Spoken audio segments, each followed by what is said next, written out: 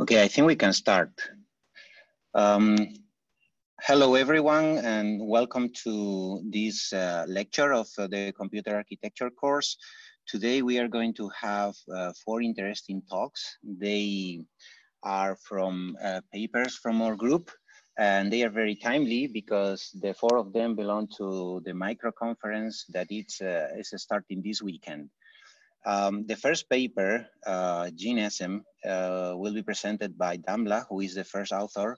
This is um, an accept, accepted paper at uh, Micro this year, and she will be presenting it uh, next week. I think it's on Monday. Um, this is a collaboration of CMU where Damla is doing her PhD, uh, Intel and ETH. And uh, Damla will present the uh, GenASM, which is an acceleration, uh, acceleration framework for genome analysis. And it's the first near memory hardware accelerator for the BiTAP algorithm, which is used for approximate string matching. When you're ready, Damla, you can start. Okay. okay. Thank you very thank much. You. Thank you so much for the introduction, Juan. So um, hello all, and as Juan already introduced, um, I'm Damla. I'm a PhD candidate in the Safari Research Group at Carnegie Mellon, advised by Professor Onur Mutlu and Professor Saugata Ghose. And today I will be presenting our work, GenASM, which will appear in Micro 2020 next week. So GenASM is a high performance, low power approximate string matching acceleration framework for genome sequence analysis. So genome sequencing, which enables us to determine the DNA sequence of an organism, plays a pivotal role in areas such as personalized medicine, outbreak tracing like COVID-19, and the understanding of evolution. Modern genome sequencing machines extract small randomized fragments of the original DNA sequence, which we call reads.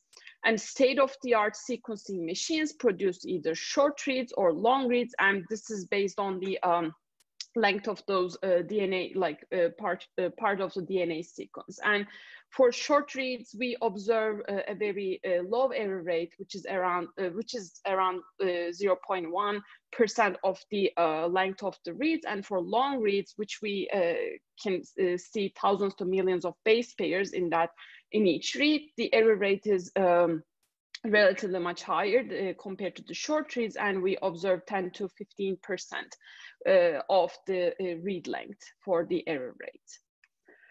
So read mapping is the first key step in genome sequence analysis uh, which we will go deeper but you should be familiar with the term from um, professor Onur's or uh, yesterday from mohammed's talk so in read mapping, what we do is we take each read, align it to one or more possible locations within the reference genome and find the matches and differences between the read and the reference genome segment and that location.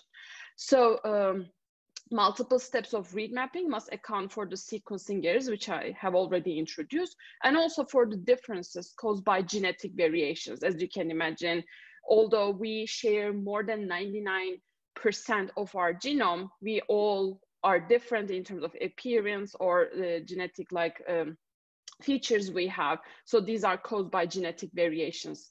And as a result, read mapping must perform approximate string matching or ASM in order to consider or take account for these uh, type of and differences when performing read mapping.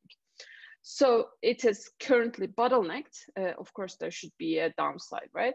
By the computational power and memory bandwidth limitations of existing systems. And by the way, you can interrupt me at any point.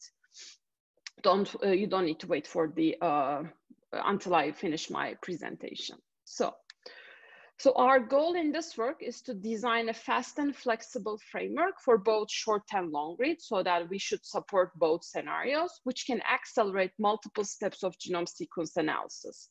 So to this end, we propose GenASM, and we base GenASM on BiTAP, uh, which is an approximate string matching algorithm that uses only fast and simple bitwise operations, which makes it amenable to efficient hardware acceleration. And to our knowledge, GenASM is the first work that enhances and accelerates BiTAP.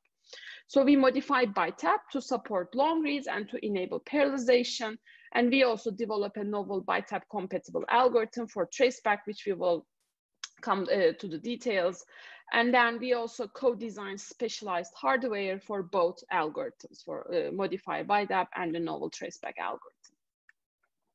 So GenASM is flexible and can be used to accelerate multiple use cases, which involves approximate string matching, as you can imagine. And in this work, we evaluate three use cases in detail from uh, genome sequence analysis, read alignment, pre-alignment filtering, and edit distance calculation. So if you attend yesterday's uh, talk by Mohammed, you should be familiar with these um, like uh, use cases, but I will explain them later in detail. So we find that for all these three use cases, GenASM is significantly more efficient in terms of both speed and power consumption than state-of-the-art software and hardware baselines.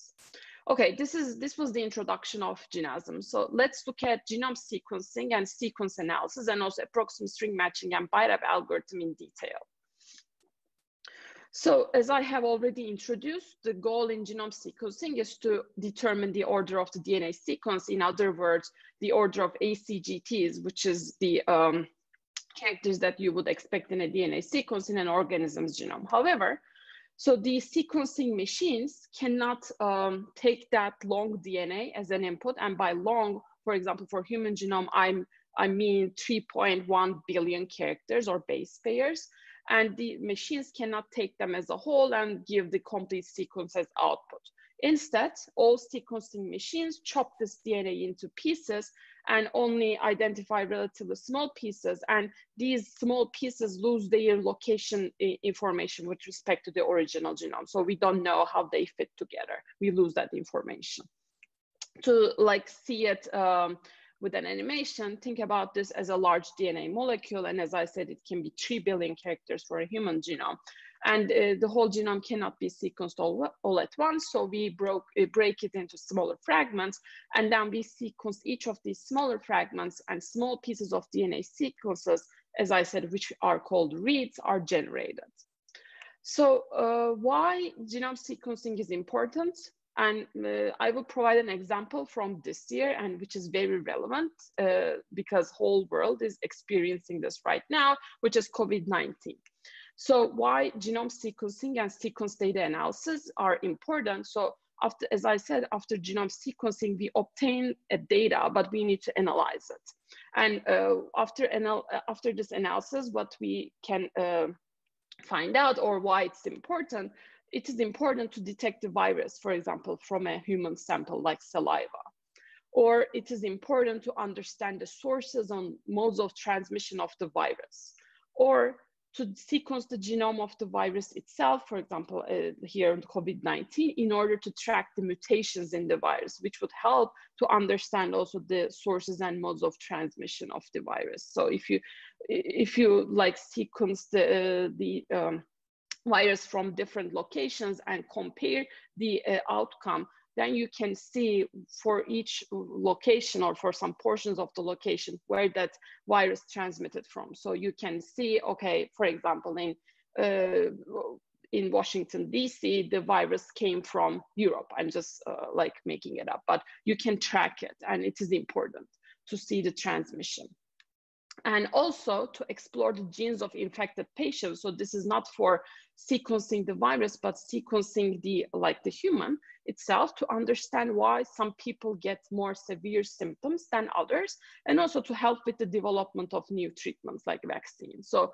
sequencing uh, of COVID-19 here is pretty important to address these uh, requirements to both understand the virus and to come up with uh, solutions to defeat that. And uh, what we should expect in near future, I'm saying near future because there's already a development, uh, like a, a, sequencing device development uh, happening in a, a, company, sequencing technology company called Oxford Nanopore. So as you can see from the right-hand side, uh, they are introducing a very small, portable, and cheap devices that can be plugged to your mobile phone, which would enable everyone to perform sequencing, like genome sequencing, on their own genome by themselves using their only mobile phone. So this would provide portability, easy access, and also privacy as well, because you can do it by yourself. But challenges, um, of course, as I said, these are these uh, devices are generating some data, but we need to perform the required analysis on our phones, which have very limited resources. So what do I mean when I say genome sequence analysis or genome analysis? So this is a this uh, slide should be familiar because this is one of the uh, Professor Onur Mutlu's uh, talks. So uh, after sequencing, as I have already introduced, we need to uh, find the location of each of these uh, small pieces with respect to a, um, a, reference genome. And by reference genome, what I mean is, for example, we have this for many, many organisms, including human genome. It is a representative like the DNA sequence. So of course, uh, it's, it is only uh, like uh, generated from a sample, so it cannot be representative for the whole, like all organisms. As I already uh, said, we have some differences, but this is the approach we need to follow, at least to find uh, like the um, uh, location of those small chunks because that's how you can then find the uh, differences or the matches with respect to this original genome. After performing this, uh, the next step is of course uh, seeing what are the based on the differences we discovered calling the uh, variances or any diseases for example or any genetic features that are mapped to those differences. And then the last step is of course the scientific discovery based on this variant calling step. So again this is another uh, slide from professor Onur Mutlu. Here uh, it, we, so it is known that the bottleneck is in the read mapping step. So that's why in GenASM we mainly focusing on that bottleneck. So let's focus on read mapping and see what's happening as part of its pipeline. So it can be seen as a four-step process, and sometimes it's also called seed and extend. And first read mapping starts with indexing the reference genome. And this index contains all possible fixed length substrings, which we call seeds, as the keys and the exact match locations of these substrings in the reference genome as values. So we come up with a hash table and here we have the keys as like uh, substrings and they are fixed length and the exact match locations in the as the uh, values. And then we, um, in the seeding, we uh, queries this index structure for determining potential mapping locations of each read in the reference genome and using the uh, uh, substrings of the reads, which are again called seeds from each read. So that's why it's called seeding because we are uh, querying that uh, generated hash table based index with the seeds coming out of the reads. And seeds are, as I said, the um, substrings of the read. And in the third step, pre-alignment filtering, we use filtering heuristics to examine the similarity between every read and its potential matching segments on the reference genome that are identified in the second step. And here goal is to eliminate most of the dissimilar sequences to decrease the number of required alignments, which is the next step. So here we uh, provide the remaining potential mapping locations after we apply the filtering heuristics. And then for the um, non-like filtered remaining mapping locations, we get the reference segment and query read in the fourth step and perform read alignment or, also called seed extension to, uh, per, uh, which performs a dynamic programming based algorithm to determine the best location of the query read and to find the optimal alignment. So when we are mapping the reads generated from the sequence genome, they may not exactly map to the reference genome, as we know because of variations and sequencing errors, and let's look at this example to see what kind of errors and differences, which are also known as edits, we should expect. So first, we can uh, observe deletions. As you can see here, one of the characters of the reference is missing in the read, so it's deletion. Or we can expect substitutions, which means that one of the characters in the reference flips with another one. Here, for example, G is not existing, but instead we see a C there. And the other option is seeing insertions, which means that a character that doesn't appear in the reference can be introduced in the read. So these are the three common uh, errors or uh, edits we can expect. So since multiple steps of read mapping must account for these errors, deletion, substitutions, insertions, they must perform approximate string matching. And the goal of approximate string matching is to detect the differences and similarities between two sequences. And in genomics, ASM is required first to determine the number of, a minimum number of edits between two genomic sequences, which is called edit distance. And here in read mapping, the reference segment and the um, read itself are those two uh, genomic sequences. And also we need ASM to find the optimal alignment with a traceback step. So in this traceback step, what we do is we find the sequence of matches, substitutions, insertions, and deletions along with their positions. So for example, when we look at this example here, we see that we have three matches followed by a deletion, and then six more matches and a substitution, and six more matches and an insertion and two matches for, for this example. So this is the traceback output we want to come up with. But uh, approximate string matchings, uh, matching algorithms need to perform this additional traceback step in order to find that because as the first step, they only find the uh, edit distance or uh, in some other scenarios, the uh, score of the alignment. So we need to do this additional step to come up with this output. And this is revealing the uh, location of each edit, as I said, and type of each edit, which you should expect in the alignment, in the optimal alignment. So, excuse me. Okay. So approximate string matching is typically implemented as a dynamic programming based algorithm, which has quadratic time and space complexity. So it is desirable to find lower complexity algorithms for approximate string matching. One candidate to replace DP-based algorithms for ASM is the BiTAP algorithm. And BiTAP uses only fast and simple bitwise operations to perform approximate string matching, which makes it amenable to efficient hardware acceleration. And here, that's the reason why we picked BiTAP algorithm to accelerate. So BiTAP tackles the problem of computing the minimum edit distance between a reference text, such as reference genome, and a pattern, such as a read, with a maximum of k errors. So k is a parameter here. And the algorithm has two steps. And it starts with a pre-processing procedure where we generate one pattern bit mask for each character in the alphabet, which is ACGT in this context. And these pattern bit masks help us to represent the query pattern in a binary format. And the second step, searching or edit distance calculation, which is the main step of the algorithm. And here we examine each text character one by one by using the pre-processed pattern bit masks from the uh, previous um, uh, step and status bit vectors, which are updated at each text iteration and hold the partial match information for the text characters examined so far and simple bitwise operations.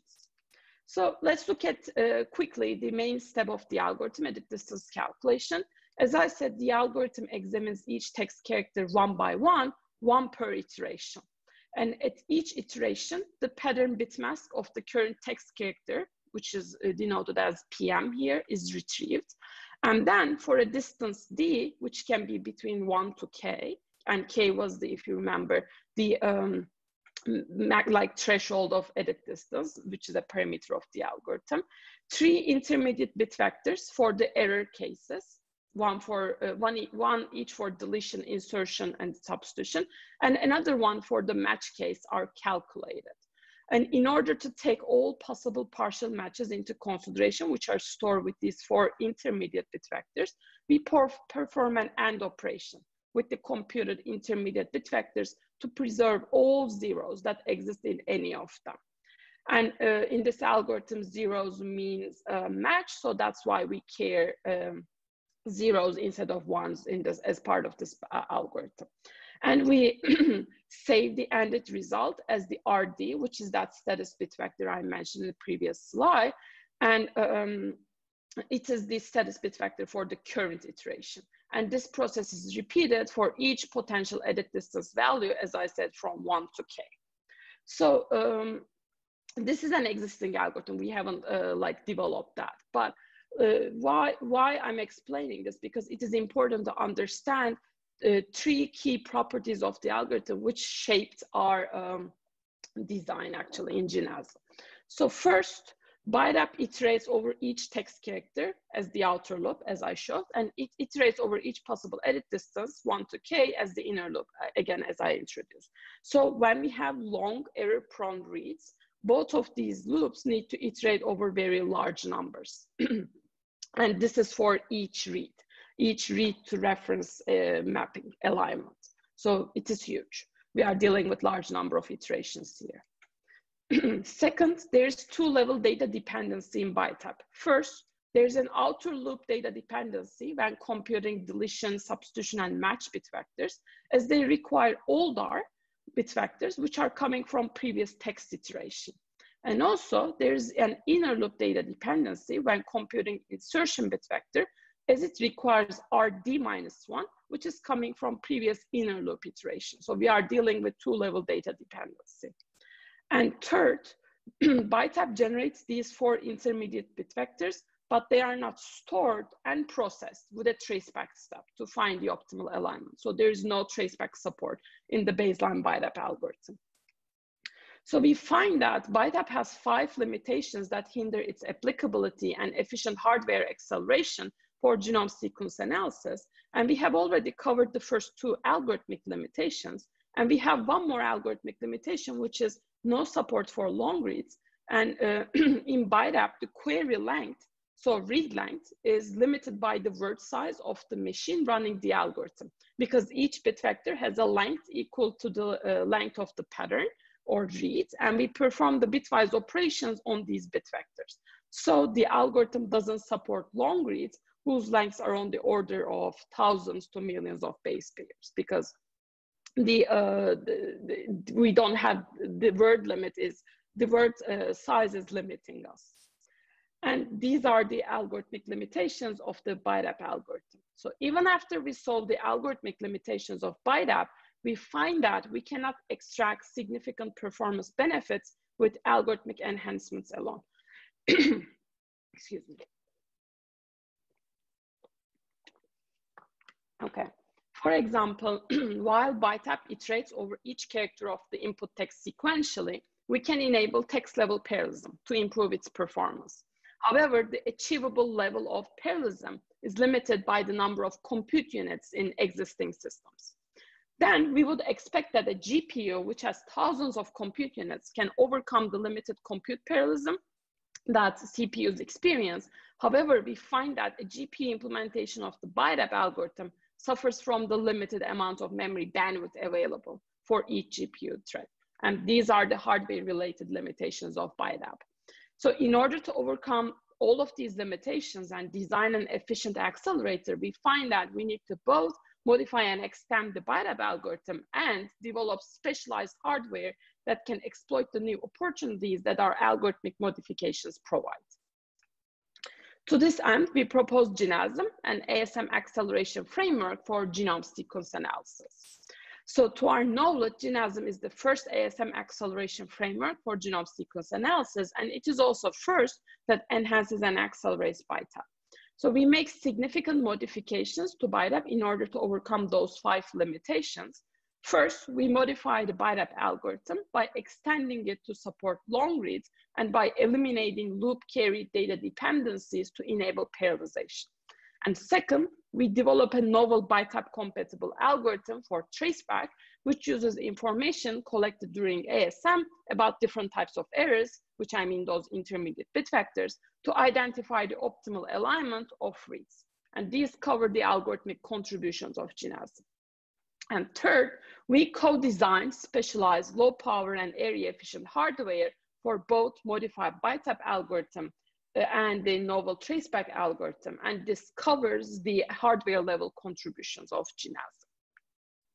So our first algorithm, GenASM DC, is the modified BiTAP uh, for distance calculation, where we extended, as I said, to provide efficient support for long reads.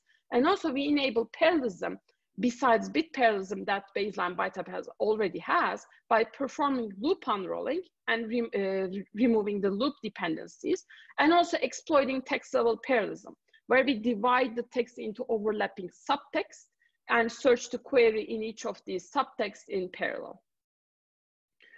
And our second algorithm, GenASM TB, is a novel BiTAP compatible traceback algorithm, as I have already introduced, which walks through the intermediate bit vectors, match, deletion, substitution, and insertion generated by GenASM DC, which is the modified BiTAP, as I said, and finds the optimal alignment.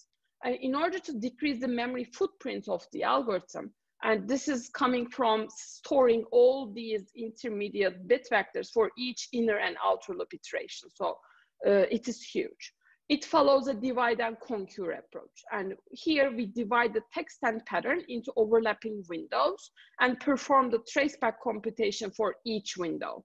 After all of the windows partial traceback outputs are generated, we merge them to find a complete traceback output. So this helps us to, since we are dividing the text and pattern, uh, decrease the num like the amount of uh, data we need to store as the intermediate bit vectors to perform traceback. So let's look at the hardware design of GenASM. Our co-designed hardware consists of two components. And GenASM DC here provides so hardware support to efficiently execute our GenASM DC algorithm to perform distance calculation. And GenASM TB, which provides hardware support to efficiently execute our novel GenASM TB algorithm to find the optimal alignment. And GenASM has uh, two types of SRAM buffers, DC SRAM and TB SRAMs. And let's look at the high level overview of GenASM. So GenASM execution starts when the host CPU issues a task to uh, GenASM with the reference and query sequences locations, and then GenASM DC reads the corresponding text and pattern from the memory, and then writes these to its dedicated SRAM, which is DC SRAM. After that, GenASM DC divides the reference text and query pattern into uh, multiple overlapping windows, and for each subtext and subpattern, which corresponds to each of these windows, um, uh, for each subtext and subpattern, GenASM DC searches for the pattern within the text, like subpattern within the subtext, and generates the bit vectors. And then uh, DC writes these bit vectors to TB SRAMs. And once GenASM DC completes its uh, search for the current window, so after it writes all of the bit vectors for the current window, then GenASM TB starts reading the stored bit vectors by following a input dependent order. And then um, it generates the Windows traceback output. So once GenASM TB generates this output for the current window, then we uh, compute the next window and repeat steps from three to seven until all windows are completed. So our specialized compute units, which is DC and TB accelerators, and on-chip SRAMs, which are DC SRAM and TB SRAMs, help us to match the rate of computation with memory capacity and bandwidth, achieve high performance and power efficiency, and scale linearly in performance with the number of parallel compute units that we add to the system. Let's look at GenASM DC's hardware design. So we implemented as a linear cyclic systolic array-based accelerator using small and very simple logic components. And this design helps us to maximize parallelism and minimize memory bandwidth and footprint. So processing core is the basic compute component, which computes the intermediate bit vectors, those four of them, along with the RD bit vector, which is the status bit vector. And when we add the flip-flop based storage logic around this processing core, we define a processing element, PE. And multiple PEs are concatenated to define a processing block. So we also have DCSRAM, which stores the reference text, the pattern bit mask for the query read and the intermediate data generated from PEs. And we also have TBS TBSRAMs, which store the intermediate bit vectors generated by each P of GenASM DC, which will be later used by GenASM TB. And we implement GNASM TB hardware using very simple logic again, which reads the bit vectors from one of the TB SRAMs using the computed address, and then performs the required bitwise comparisons to find the traceback output for the current position, and finally computes the next TB SRAM address to read the new set of bit vectors. And after GenASM TB finds the complete traceback output, which is also called CIGAR string, it writes the output to main memory and completes its execution. So we uh, demonstrate the efficiency and flexibility of GenASM by describing three use cases of approximate string matching in genome sequence analysis. And read alignment and pre-alignment filtering are coming from the read mapping pipeline, as I uh, have introduced as part of the background material. And uh, as a third use case, uh, which is edit distance calculation, this is a um, fundamental, or very fundamental operation in genomics that measures the similarity or distance between two arbitrary length sequences. So this is, uh, uh, as I said, BiTAP is uh, inherently calculating edit distance. So that's why um, it is a very natural use case for GenASM. And we believe GenASM framework can be useful for many other use cases. And we discussed some of them briefly in our paper so we evaluated these three and we like discuss some of uh, other use cases, including generic text search, for example. Let's look at our evaluation of the GenASM design and framework. So we evaluate GenASM using a combination of synthesis of our DC and TB accelerator data paths and a detailed simulation-based performance modeling. And we evaluated 16 gigabytes of HMC-like 3D stacked DRAM architecture with 32 vaults.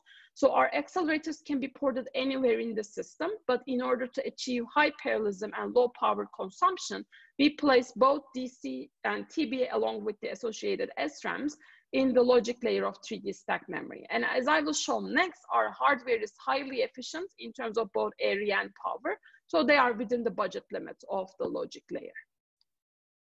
So for the use cases we evaluate, we compare GenASM with state-of-the-art software and hardware baseline. And as you can see here, uh, for the read alignment, we compare with two commonly used tools, which are called Minimap2 and BWA And as hardware baselines, we compared against GACT of Darwin, which is for long read alignment, and SillaX of GenAx for short read alignment. And for pre-alignment filtering, we uh, compared against an in-house filter from uh, developed by Mohammed Shouji.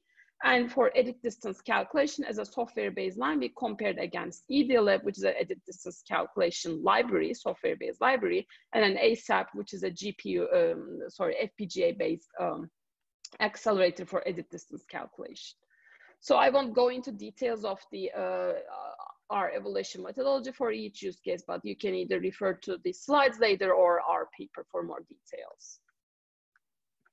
Okay, so we synthesize our DC and TB accelerator data paths with a typical 28 nanometer low power process, and both accelerators operate at one gigahertz. We find that for 32 GenASM accelerators, one for each HMC vault, Total area overhead is 10.69 millimeters square and total power consumption is 3.23 uh, watts. So um, these may not make a lot of sense to you. So to give a comparison, we observe that both area and power consumption of GenASM at a single vault is around 1% of the area and power consumption of a single Xeon CPU core. So we find out that GenASM has low area and power overheads, which is important. So let's look at our results for the first use case, read alignment. So as software baselines, as I said, we compare with BWA MEM and uh, Minimap2, and we find that GeneAsm achieves 648 times speed up over 12 thread runs of BWA MEM and 116 times speed up over, again, 12 thread run of Minimap2 while reducing power consumption by 34 times and 37 times. This is for a software baseline comparison for long reads. And compared to the GACT of Darwin, which is the state of the art, as I said, long read alignment accelerator, GenASM provides 3.9 times better throughput, 6.6 times better throughput per unit area, and 10.5 times better throughput per unit power. And again, this is for a long read. When we look at short reads compared to the same software baseline, scenario is uh, similar. Again, GenASM provides significant speed up and reduction in power consumption.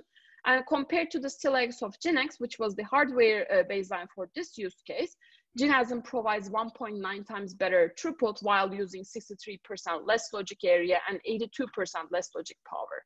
So as I said, GenASM is uh, highly efficient in terms of both power consumption and uh, it has a very low uh, area overhead. Com again, compared to even these hardware baseline, which are state of the art. Let's look at our results for the second use case briefly. So here, uh, I won't cover all the detail, all the results in detail, but uh, here's the key takeaway. Compared to Shouji, which is, uh, as I said, state-of-the-art FPGA-based filter, GenASM is more efficient in terms of both speed and power consumption while significantly improving the accuracy of pre-alignment filtering. So this is important because when you like when you decrease the false accept rate, which is one metric for accuracy significantly, and as you can see here, GenASM is doing that, you can uh, you which means that you are filtering a lot so there will be less amount of uh, alignments that needs to be performed in the downstream. So the combined execution time for pre-alignment filtering and uh, the alignment step would be very uh, like uh, would be reduced significantly so that it would affect the overall execution for read mapping. So it is critical to improve the accuracy by decreasing the false accept rates. And briefly, let's look at our results for the third use case. Here, compared to the software baseline, Edlib, uh, which is Edlib, GenASM provides two to four orders of magnitude speed up while reducing power consumption by two orders of magnitude. And compared to the hardware baseline ASAP, GenASM provides 9.3 to 400 times speed up while consuming 67 times less power. So again, we find that GenASM is significantly efficient in both metrics, both speed up and power consumption compared to the uh, baselines for this use case. So before I conclude, here's the list of additional details that we have in the paper, including algorithm details, more uh, detail about use cases, as I said, evaluation methodology details, and some other uh, additional results for all these use cases, along with a dedicated section where we explain our sources of improvements in terms of algorithm level, hardware level, and technology level. So to conclude, in this work, we focus on approximate string matching because it is one of the main bottlenecks of genome sequence analysis. And we propose GenASM, approximate string matching acceleration framework, to accelerate multiple steps of genome sequence analysis. And it is the first work that enhances and accelerates BiTAP for ASM with genomic sequences. And in GenASM, we co-design our modified and scalable uh, are modified scalable and memory efficient algorithms with low power and area efficient hardware accelerators. And we evaluate three different use cases and show that GenASM is significantly more efficient for all the three use cases in terms of both throughput and throughput per unit power than state-of-the-art software and hardware baselines. So as I uh, and Juan already said, this will appear in Micro 2020 next week, next Wednesday. So we will, uh, I will present it next Wednesday and you can find our preprint. It's not preprint online. You can find our paper online. So thank you.